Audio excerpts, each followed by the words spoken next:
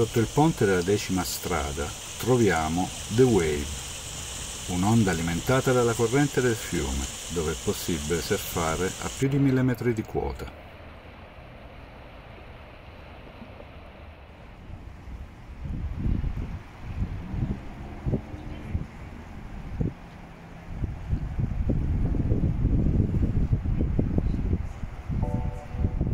Usando il ponte della metro, attraversiamo il fiume e ci dirigiamo verso Sunnyside. Il ponte ha un livello inferiore, riservato a pedoni e ciclisti.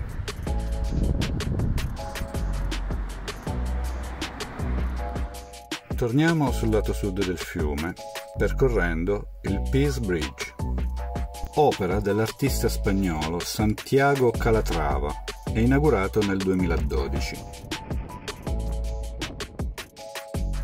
Ci sono quattro accessi all'isola e noi entriamo dall'ingresso ovest, dove incontriamo NMAX, il grande palco permanente.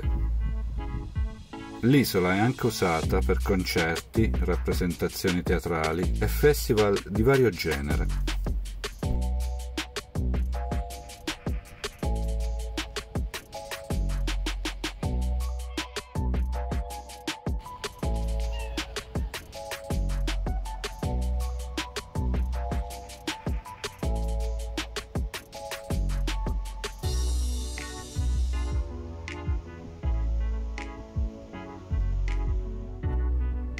Poco più avanti vi è l'area picnic.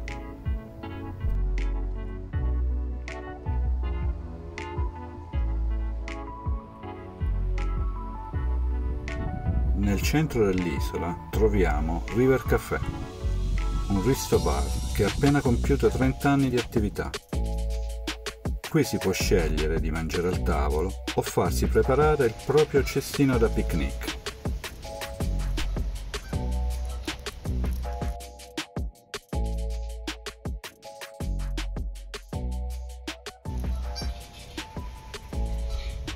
Poco distante vi è l'area giochi, attrezzata per i più piccini.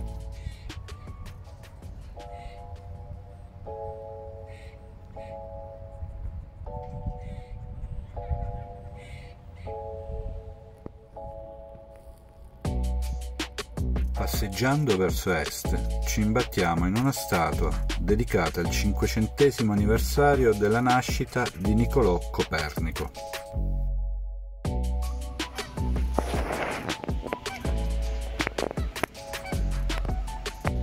Calgary i lavori non si fermano mai. Infatti qui possiamo notare i lavori di rifacimento dell'ingresso principale.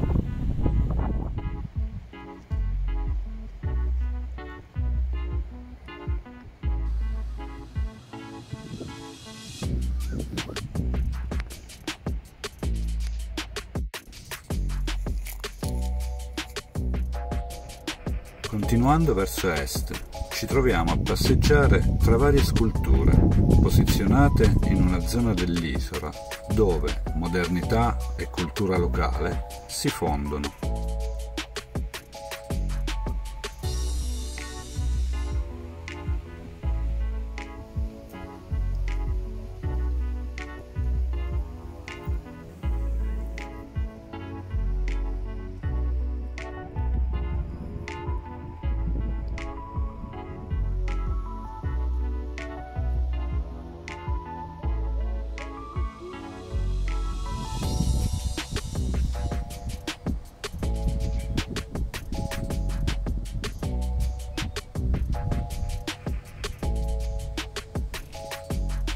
all'estremità est dell'isola, si trova una piccola riserva naturale.